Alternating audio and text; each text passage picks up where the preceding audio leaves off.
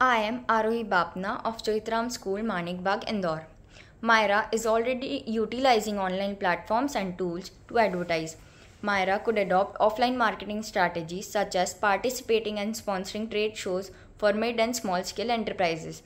They can also hire incentive based salesperson to do door to door marketing in tier 1 and tier 2 cities as every other business requires a website and other related services now. The sales force should be incentive based which motivates them to get more customers to the business. Using these steps, they could bring down the customer acquisition cost significantly. While acquiring new customers is important, it is essential to retain and maintain a healthy relationship with re- existing customers.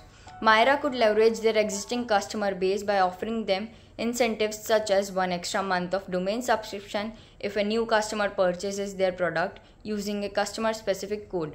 They could develop success stories and case studies from the experience of the existing customers, which can be advertised via website as well as in person. They could recognize opportunities that exist within their organizations for growth by identifying the additional requirements and fulfilling them accordingly.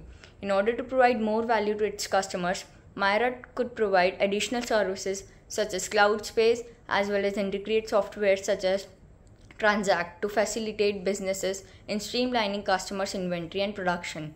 They could partner with businesses like Canva to transfer and share their designs and ideas from Canva to Myra for web development while offering some similar editing options on Myra itself.